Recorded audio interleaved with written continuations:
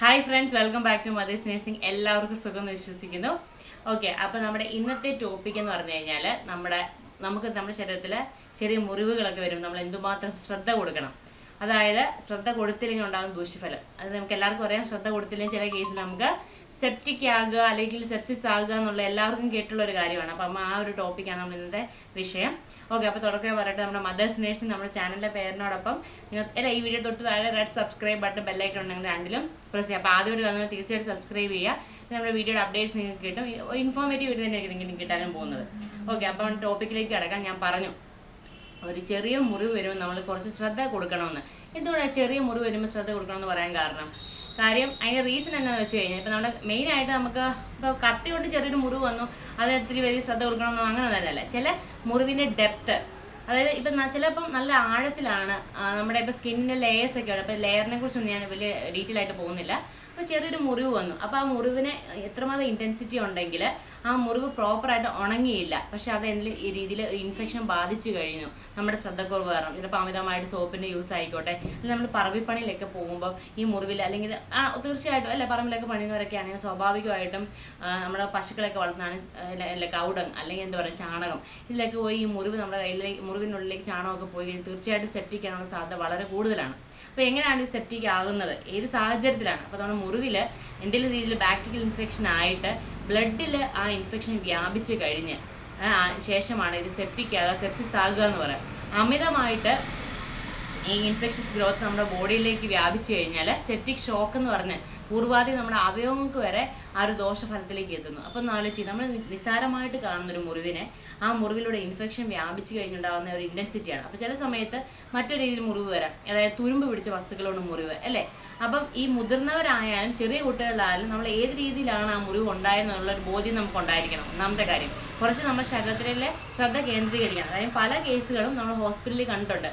ഒരു മുറിവ് വന്നിട്ട് വളരെ കെയർലെസ് ആയിട്ട് അതിനെ ശ്രദ്ധിക്കാതെ സെപ്റ്റിക് ആയതിനു ശേഷം വന്നിട്ട് പിന്നെ അതിന് കുറേ നാളത്തേക്ക് ട്രീറ്റ്മെന്റ് ആവശ്യം വരുന്നു. അപ്പം തീർച്ചയായും ചില സമയത്ത് അതിന് ഒത്തിരി അധികം ഇൻഫെക്ഷൻ വ്യാപിച്ചു കഴിഞ്ഞാൽ ചിലപ്പോൾ നമ്മുടെ സ്കിന്ന് കട്ട് ചെയ്ത് അതിനൊരു പിന്നെ സർജറിയിലേക്ക് വരെ പോകുന്ന സാഹചര്യങ്ങളുണ്ട്. അപ്പം തീർച്ചയായിട്ടും നമ്മൾ സെപ്റ്റിക് ആകാതിരിക്കാൻ നമുക്ക് എന്ത് ചെയ്യാം എന്നാണ് നമ്മൾ കുറച്ചും കൊണ്ട് നമ്മൾ പറഞ്ഞു തരാൻ ആഗ്രഹിക്കുന്നത്.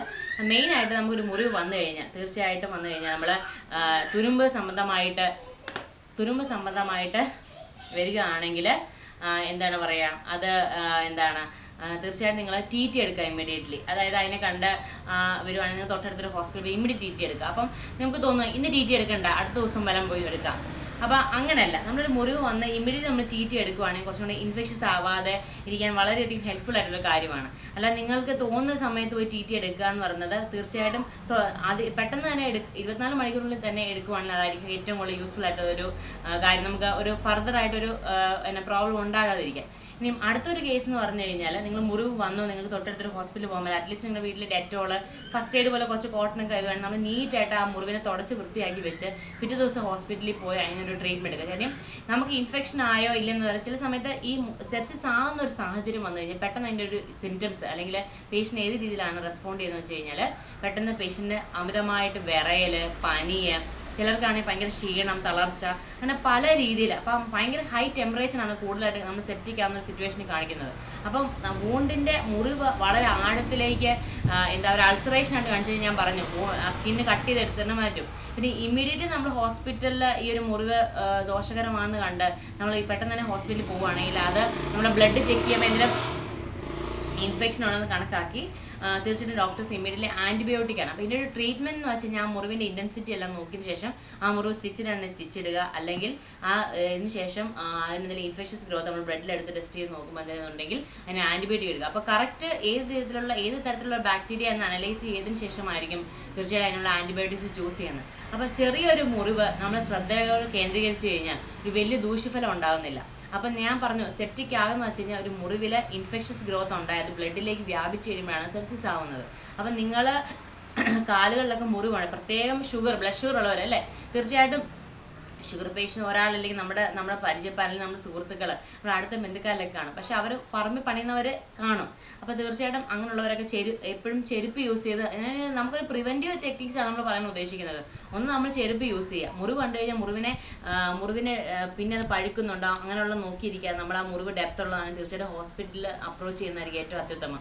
ഒരു കാരണവശാലും മുറിവ് വന്നതിന് ശേഷം എന്തുവാണ് അമിതമായിട്ട് പ്രഷർ കൊടുത്തുകൊണ്ട് നിങ്ങൾ വേരുത് അല്ലെങ്കിൽ അത് മീൻസ് ഒരു രീതിയിലും മണ്ണോ അഴുക്കോ ഒന്നും പറ്റാതെ തന്നെ പൂണ്ട് ഡെൻസ് എന്തുവാ ചീത്തയാകും വിധം ദോഷപ്പെടുത്താതെ നിങ്ങൾ എത്രയും പെട്ടെന്ന് ഹോസ്പിറ്റലിൽ പോയി സ്റ്റിച്ച് ഇടുക അതിനുള്ള ട്രീറ്റ്മെന്റ് എടുക്കുകയാണ് ചെയ്യേണ്ടത്. അപ്പം നമുക്ക് ഇത് ഇങ്ങനെയൊക്കെ ചെയ്യുവാണെങ്കിൽ ഒരു നമുക്ക് തീർച്ചയായിട്ടും സെപ് സെപ്സിസ് ആകാതെ സെപ്റ്റിക് ഇൻഫെക്ഷൻ ആവാതെ ആ സെപ്റ്റിക് ഇൻഫെക്ഷൻ കാരണം സെപ്റ്റിക് ഷോക്ക് എന്ന ഒരു സിറ്റുവേഷൻ ഉണ്ടാകാതെ നമുക്ക് പ്രിവെന്റ് ചെയ്യാൻ സാധിക്കും. ഓക്കെ അപ്പം നിസ്സാരമായ കാര്യങ്ങൾ നമ്മൾ നിസ്സാര ചെറിയ മുറിവ് നിസ്സാരമായിട്ട് കണക്കാക്കാതെ എന്താ എന്ന് പറഞ്ഞാൽ വലുതായിട്ട് സങ്കല്പിക്കണം എന്നല്ല അതിനൊന്ന് ജസ്റ്റ് പോയി നമ്മൾ ചെക്കപ്പ് ചെയ്ത് സ്റ്റിച്ചിടാണെങ്കിൽ സ്റ്റിച്ച് ഇട്ട് അത് വോൺ ക്ലീനിങ് ഒക്കെ ചെയ്ത് കഴിഞ്ഞാൽ നമുക്ക് വലിയൊരു പ്രോബ്ലത്തിൽ നിന്ന് രക്ഷപ്പെടാൻ സാധിക്കും. അപ്പോൾ ഏകവർക്കും സെപ്റ്റിക് സെപ്സിസിനെ കുറിച്ച് കുറച്ചൊരു അത്യാവശ്യമുള്ളൊരു ഇൻഫോർമേഷൻ കിട്ടിയെന്ന് വിശ്വസിക്കുന്നു. തുടർന്ന് നമുക്ക് മറ്റൊരു മെഡിക്കൽ ടോപ്പിക്കുമായിട്ട് വീണ്ടും കാണാം.